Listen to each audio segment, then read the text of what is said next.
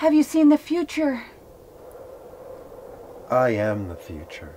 Welcome to this look at some of the best worst vanity projects ever made, which I've arranged as a top 10 to make it more palatable to anyone expecting chirpy swipes at Battlefield Earth. Ah!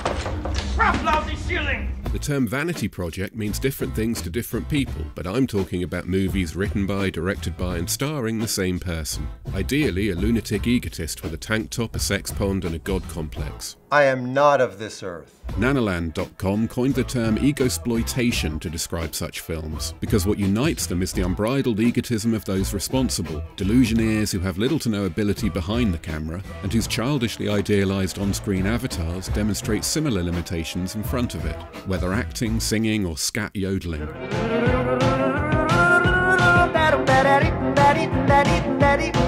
So on that note, let's get on with it.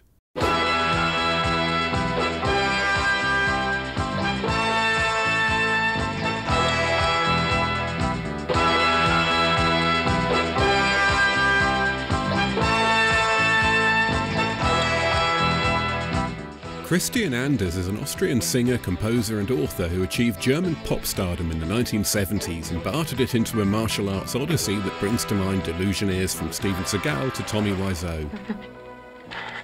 Get out of here! Oh, Thomas, it's you. In Roots of Evil, he plays Frank Mertens, the sensei of a Spanish karate dojo who finds himself in a feud with Deep Roy's millionaire supercriminal Van Bullock. Kill him, Como! Kill him! Kill the bastard! Despite operating an international drugs ring, Van Bullock's real ambition is to run a modest karate school in a suburban house, and that places him in competition with Frank, who, to further complicate matters, happens to have been taught by Van Bullock's old enemy, Takemura. Takemura? Takemura? The dirty dog? It's kind of a remake of Fist of Fury, and its star certainly likes impersonating Bruce Lee. His skills seem limited, though, and time that should have been spent fighting is too often spent posing. It's extraordinary how many of these movies can be described that way. Bruce Lee seems to be the model for every other childlike wannabe with a camera, a six pack, and an ego. Then it was you who killed my master. Yes. It was me. Hmm. It was very easy. Another notable entry in the Bruce exploitation meets ego exploitation sub sub subgenre is the incredible City Dragon, in which everyone who isn't Bruce Lee is Rudy Ray Moore. Oh, condom, oh, condom, I love thee so much for protecting my stuff and keeping me alive today for one more row in the. Hey! People are still homaging Bruce Lee today, and you could do worse than check out Shunny B's Fight of Fury. What are you saying? This guy, out of nowhere, shows up, starts defending her. And has only directed one further movie in 1981's Divine Emmanuel before reinventing himself as a conspiracy theorist. Apparently, his early adoption of anti vaxxer principles has made him relevant again in his homeland, but I prefer to think of his true legacy as directing Deep Roy to this performance. No, Como! You already failed once! Next time you do as I say! In genre terms, martial arts and horror dominate the vanity project field, and a good rule of thumb is to assume the kick-fighting ones will offer more vanity and the bloodletting ones more product. The fact is, self-funded action movies tend to be made by people looking to promote themselves as super cool action heroes, which, assuming they're unqualified, is inherently funny. I think you better get in there, mate. Looks like you've had a bit of trouble with tonight. Why? What happened? Me? Self-funded horror movies tend to be made by people who simply want to make a horror movie. You know what horror people are like. All they really want to do is kill things. When horror filmmakers are on screen, it's usually just because someone had to be, and it looked like a laugh. But, as we'll see, the best vanity projects aren't only about promoting weird people. Some of them are about promoting their weird ideas too. We're the only Christians left in the world. The most extraordinary example of this might be The Empiricist, in which former MD Warren Metzler uses prosthetics and historical reenactments No, you didn't. to explain why medicine should be replaced with magic water. That's not managed care. That's insane care. But The Astrologer is almost like a real movie, so I'm going to go with that instead. We use first names and everything of all my friends. We'll get them in the show. And um, it'll be about the adventures of an astrologer around the world. We'll call it The Astrologer. Self financed by mysterious New Age prophet Craig Denney, it's a self aggrandizing alternative autobiopic in which our hero outgrows his carny fortune teller roots to become a diamond smuggler in Kenya. Don't kill me! And then a sailor on Tahiti, which was apparently all part of a master plan. Now I had the power to be what I've always wanted to be the world's greatest mystic. He winds up so rich he has an art gallery in his garden, and so meta he makes a movie about his own life, which means this is Denney playing himself, and this is Denney playing himself playing himself. You might expect that to be the most confusing part of the movie, but it isn't. When angular Mars is partile, opposition to angular Neptune, and square to angular Uranus, the double approaching square of Mars to angular Uranus suggests a release of tension to the opposing quadrant. Sadly, The Astrologer only saw a limited theatrical run, and due to it stealing all its music, wasn't released on home formats. Plans to follow up with a full slate of major productions fell through, and Denney's said to have passed away a few years later. Though rumours abound he faked his own death and someone else was buried in his grave. Do you know who that was? No, sir. Either way, he wasn't able to realise his dream of becoming a famous TV astrologer, and that's the real tragedy. You're just about ready to blow up with Uranus there in your first house at the present time. Uranus, you know, is a planet of explosions. But it's an erratic, eccentric planet, and it brings good suddenly and it brings bad suddenly.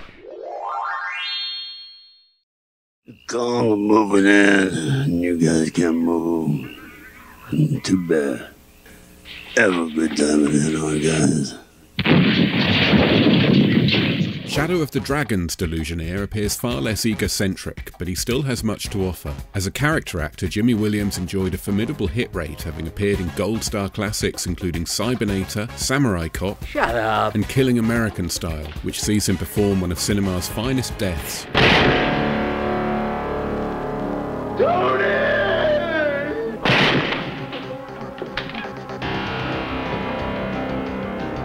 He turned to directing after co-writing a screenplay about two LA cops tracking criminal mastermind the Mekong Dragon, so with co-finance from a NASA computer scientist he met playing golf, Jimmy Williams made Shadow of the Dragon a thing.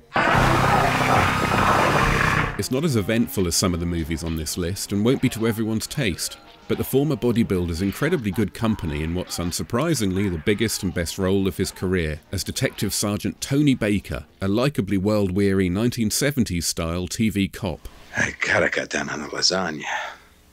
There's an unusual soothing quality to everything that's partly down to the director's vague style and writing, and partly down to the peculiar ADR. Son of a bitch. He's gone. Let's see if we can find out who's supposed to be on duty here. Are you on duty here? Yes, I've been here for three hours. Money was tight, and the film was shot piecemeal over the course of three years, which meant many of the actors weren't available when it came time to dub their performances. So, aside from Williams and a few others, including Robert Z'Dar, the voices are all done by soundman and producer Bill Mills. Everything from this woman You won't get away with this. to William Smith. Oh, you beautiful green bitch. Anytime the military has an operation that can't fail, they call this guy in to train the troops, okay? He's the kind of guy that would drink a gallon of gasoline so he could piss in your campfire.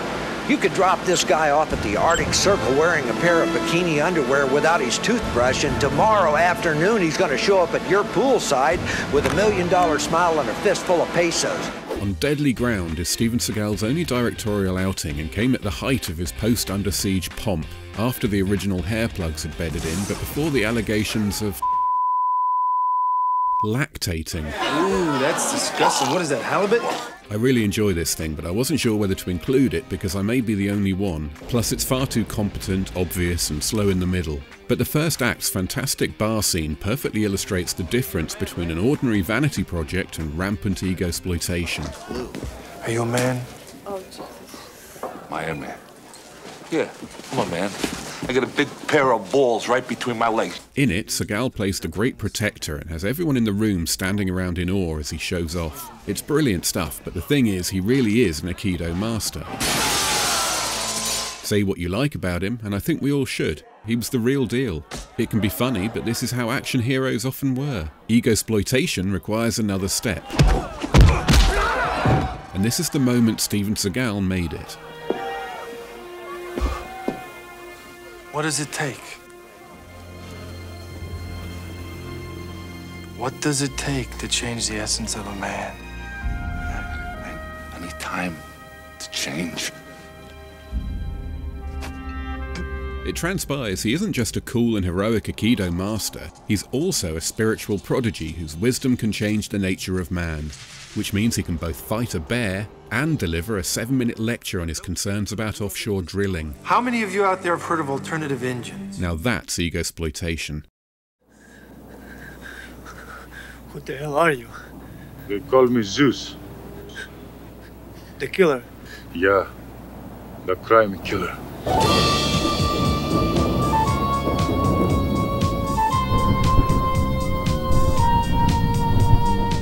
After ruffling too many feathers downtown, Detective Zeus is kicked off the force in a scene I want to be buried with. I have a right to protect myself. And I have a right to protect myself because those people out there need me. And they need me because I care about them. And when I go out on a mission, I do the right job. It goes on for ages, and we learn Zeus is so popular with his colleagues that one starts shooting the place up in outrage.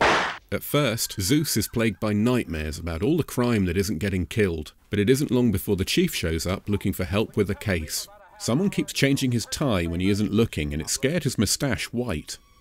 Also, the president's ex-wife's had her throat slit. Jesus! Zeus begins his investigation by having a child randomly select a suspect, This one! who he then approaches for questioning in a typically professional manner. I want you to keep your mouth shut and follow me. What do you mean, follow you? You talk too much. Boom! Then, just as things aren't making much sense, they suddenly make no sense at all as we cut to a military training camp where Zeus is being drilled. You fucking prima donnas! I'm gonna cut your fucking throat! Exercise presumably over, he and his friends tool up to presumably go get the bad guys, who they've presumably identified. But unfortunately, they're too late. Yo, man, they got him! What? Oh no! What happened to the security, Karas? They were shot. That's what happened to fucking security.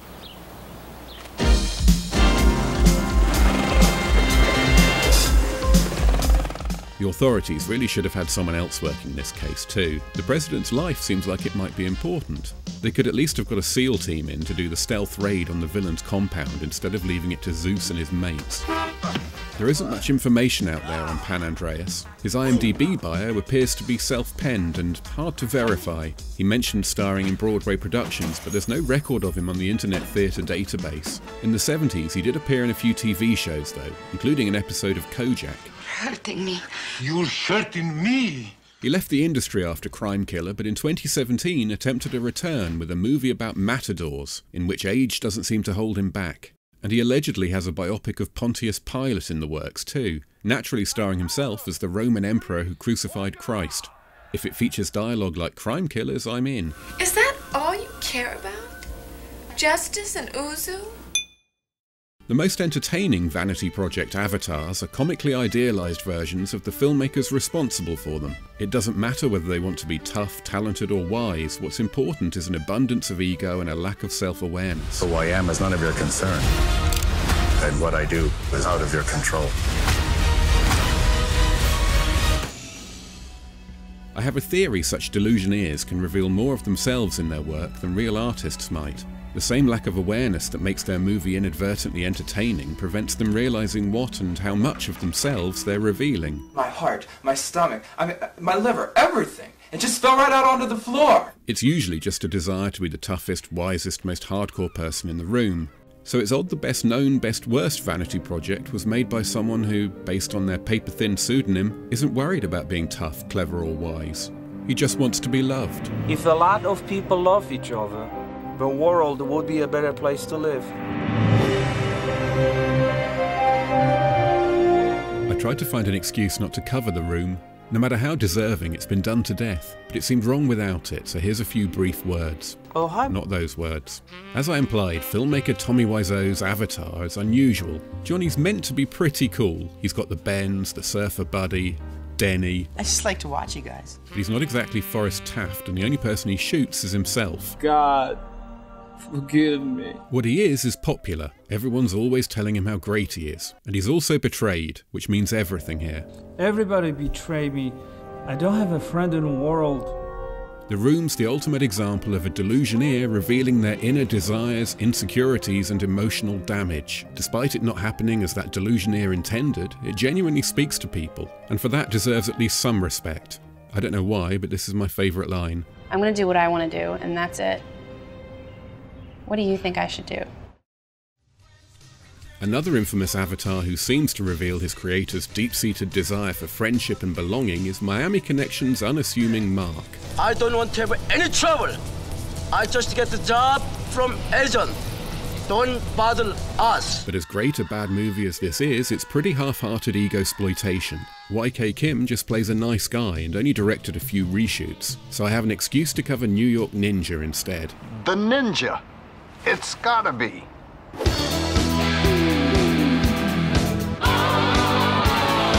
You may already know it, but the New York Ninja story goes thus. In 1984, Taiwanese action actor John Liu, who'll always be the armpits and groin guy to me, Armpits, groin. shot a kung fu vigilante movie on the streets of New York. But before editing could begin, the production company folded and the negatives were consigned to a vault. 35 years later, Vinegar Syndrome found them and appointed filmmaker Curtis Spieler to turn them into a movie. Well, if it isn't the ninja.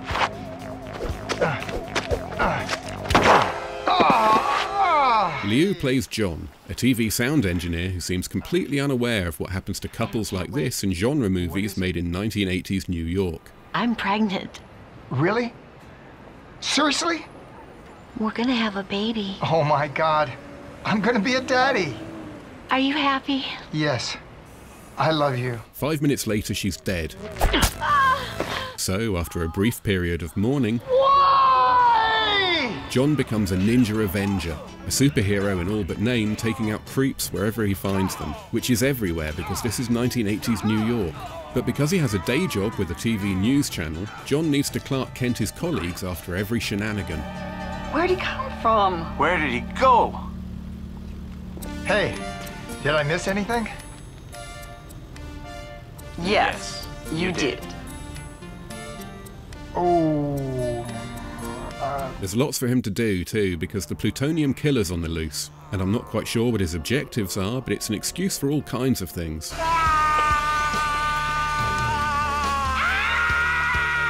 The fight scenes are the backbone of the movie, though, and they have everything good, bad, cool, and stupid. This isn't just some random lost film resurrected in blissful HD. The raw material's priceless. The additions work too, most prominently the score from retro trio Voyager 3 and the voice cast, which features Linnea Quigley and Cynthia Rothrock. Normally they'd be too good for a movie like this, but Don the Dragon Wilson's a perfect fit. I'm guessing this was because of you? It wasn't me. It was the New York Ninja. Oh, yeah? The New York Ninja's a real hero. You're right.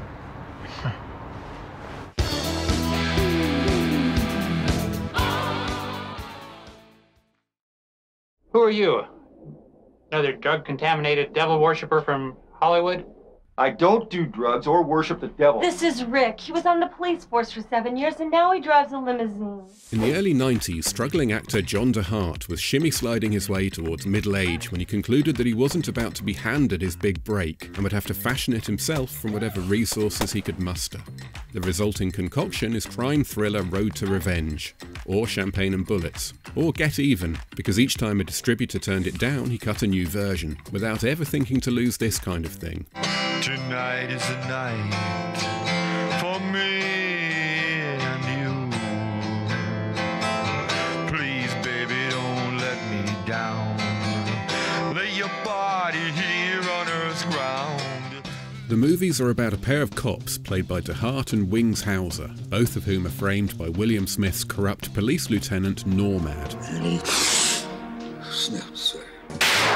Booted off the force, they spend their days shooting and drinking, fighting and drinking, ironing and drinking, and drinking and drinking, but keep finding themselves back in Normad's orbit due to him also being a corrupt judge, a drug kingpin, and the leader of a satanic cult. We love you, Satan!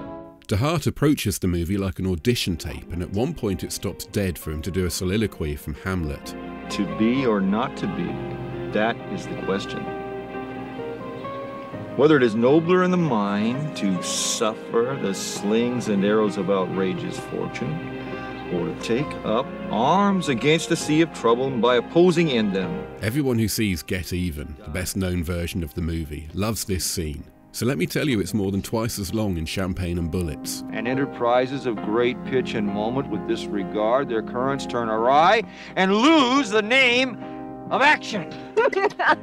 Bravo! Be warned though, if you don't watch the lower resolution Get Even version, you won't get to see camcorder footage of a 10 years older DeHart doing kung fu and feeding his poodle. Do a little dance. Good girl, little martial artist. Good baby. Clearly, our hero's no actor, so it's surprising the worst performances in the movie come from the seasoned pros. Wings Hauser ad libbed much of his dialogue, which, due to him being hammered, tends to be incomprehensible. Ed. Don't worry, I'll get. I, This is one of the drunkest performances I've ever come across, and I've seen 22 Jan Michael Vincent movies. barkeep. I would like another drink, okay? But at this time, at, at this point in place, right? I'd like something with some class, okay? So give me a classy drink. It looks like DeHart's decided it's easier to just let him run and try to fit the movie around whatever he wants to shout about. I mean, the, uh, Huckleberry Finn is beyond is beyond Moses leading uh, the Israelites, you know, out of ever, wherever they came from into the Promised Land. I'm talking, I'm talk, I'm talking, Huckleberry Finn. Smith is little better. Like so many faded stars trading on past glories for a quick paycheck, he seems to require a chair and a script at all times, and even then struggles with his dialogue. Well, they pulled into this, uh, what I would call a pe- pe- what I would call a pander's vehicle. DeHart wound up abandoning the film industry for a career in law, but somewhere in a parallel universe, there's an Earth on which he made it as an actor, and another on which he's a major recording artist. Let's do it again. Oh, you're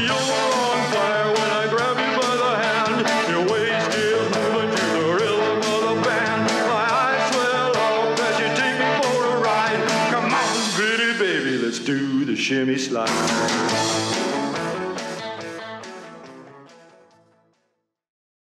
Steve Barkett's best known to cult movie fans for The Aftermath, but that's only because Empire of the Dark's too good for us.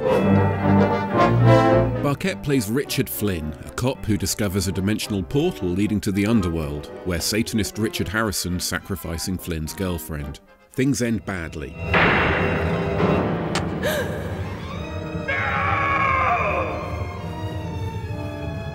Two decades later, he's acquired a detective agency, a mustache, and a new girlfriend, and despite no longer being a cop, remains dedicated to keeping people safe, or using them as human shields in gunfights he started. What's important is the guy stealing food didn't get away with it, He looks good down there. and Flynn had a killer one liner ready. That's where it belongs. But the hungry homeless are the least of his problems because the satanic cult's back and it wants him dead. You have to get up pretty early in the morning to get one over on Richard Flynn, though. Empire of the Dark is an incredibly rich B movie. Every new scene seems to introduce us to another memorable character and deliver something by way of genre goodness, whether action, horror, or even melodrama. Are you trying to, to tell me that Yes, Mr. Flynn. Terry Nash is your son. The sets exude lo-fi charm, the score's a superb old Hollywood adventure throwback, the effects are so delightful they take in a stop-motion demon. It's a fantastic film. Barkett himself's a true gent and committed genre fan who enjoyed a varied and highly successful career outside cinema. He's also one of the few delusionaires on this list to make a profit from his film. Bullshit! It's true, his investor paid him handsomely to make it and he retains the rights. Sadly, he didn't direct again, but he's a welcome presence in a string of 90s B movies produced by old buddy Fred Olen Ray. I do not understand. How is it possible for a god to die? Speaking of God, Who am I? What am I? Former Las Vegas real estate agent and high functioning cinematic egomaniac Neil Breen first answered the call of the megaphone in 2005 with Double Down. A freeform experimental masterpiece that's arguably come to define modern ego-exploitation. I was the first in my class in college in computer science. I won many medals for distinguished service. I can start and end wars. I've received bio, electro, medical, and controlled access to the national geospatial. I control access to anything and everything. I don't need much to live on anymore. I just eat tuna out of the can and live in the car. Next came I Am Here, Now, in which Breen put the humility of Double Down behind him to truly embrace his inner narcissist as an omnipotent cyborg space god here to judge mankind. This isn't the way I planned your species. But it wasn't until his third and most conventional offering, 2013's Fateful Findings, that he really made a name for himself. To be honest, I'm reluctant to single out just one of Neil's films to represent the apex of ego exploitation, and by extension the pinnacle of humanity's combined creative endeavours. I'd prefer to present them en masse as an interconnected mega experience, but we need a number one and Fateful Findings is the obvious choice. I've been hacking into government and corporate international secrets all over the world and I'm going to expose them all. It's the story of a novelist and conspiracy theorist named Dylan, who as a child finds a magic thing and as an adult gets hit by a car. It releases some kind of force within him, and what follows is classic Neil. Most of the movies shot in his house, which I know better than my own. I've tracked those sheets through four movies and five bedrooms. Here the house doubles not only for a hospital, but also all the homes we see, including Jim and Amy's, which means those sheets had to go back to the guest room. Jim's infamous death actually takes place in Neil's garage next to his prized Ferrari Testarossa. I can't help you out of this one, Jim. In common with all Neil's films, the notion of a plot's irrelevant. His interests, aside from having naked blonde women lie on his bed sheets, are confined to self-mythologizing, conspiracy theorizing, and listing all the people he'd like to execute. Why do you keep saying that? Why? I know I have issues. The extent to which we give him a pass on this is quite something, considering that in most of his films he endorses extinction level slaughter and ends with a mass suicide. Goodbye.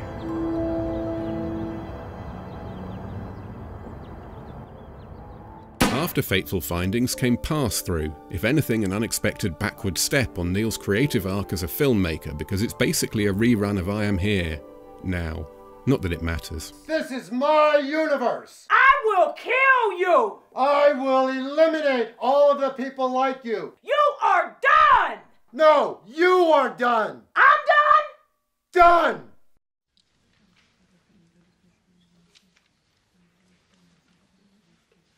His fifth and most recent film, Twisted Pair, marks a stylistic change of direction and offers the great man a dual role that includes an AI superhero, about the only manner of pseudo deity he hasn't already played. It's time to end his global plans. They can't stop.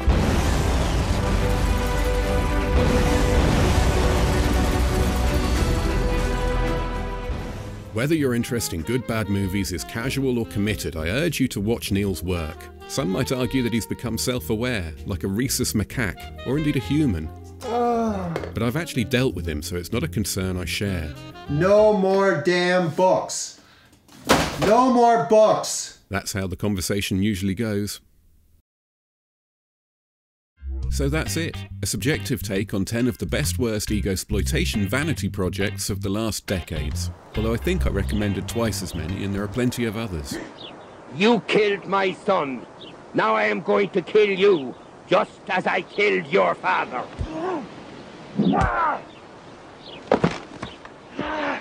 You killed my father. Now I'm going to kill you, just like I killed your son.